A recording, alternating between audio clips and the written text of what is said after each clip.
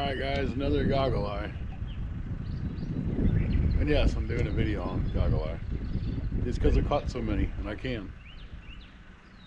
And that's another video. Hope y'all watch the video. There is a fish in the video, that makes so that makes it a fishing video. Even though it's goggle eye and not catfish, like Catfish Dave would do. Okay? Stay tuned. Okay.